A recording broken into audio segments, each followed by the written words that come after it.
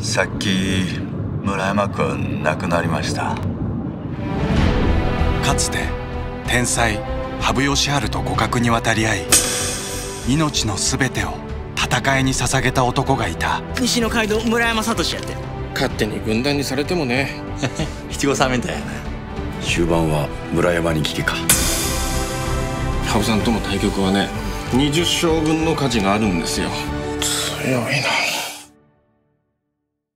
進行性の膀胱がんです。ガラスケースの大丈夫ですよ。人間誰でもいつかは死にますから。まだしな。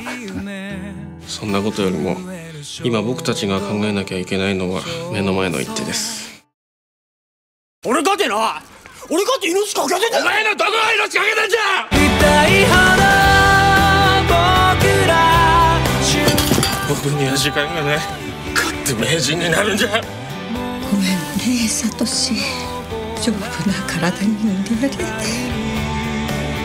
羽生さんの見ている海はみんなとは違う。でも村山さんとなら一緒に行けるかもしれない。いつか一緒に行きましょう。